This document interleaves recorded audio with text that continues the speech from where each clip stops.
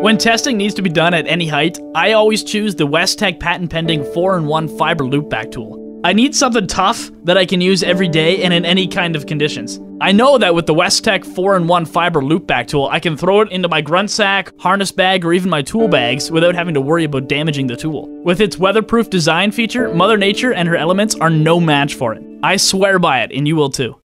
Today's fiber world is about keeping your fiber connections clean and protected for precise and accurate testing. Westek's patent pending 4 in 1 fiber looping tools with integrated parking lot and coupler do just that.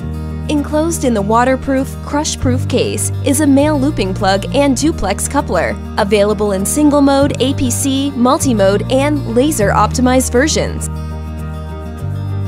By disconnecting the male fiber connectors at the termination point and plugging them into the female coupler, one can loop the signal back to accurately measure quality.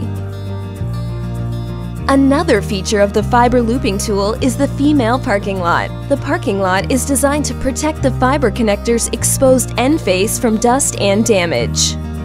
Another important feature of the fiber loopback tool is the male loopback tool. The male loopback tool is designed with standard duplex jack spacing. The duplex SC connector housings can be unsnapped and positioned to facilitate fiber jacks mounted on angled or offset spacing. An additional feature to the fiber looping tool is the duplex coupler. When necessary, the coupler allows the technician to couple fiber cables together, creating a longer jumper cord or to reroute a pair.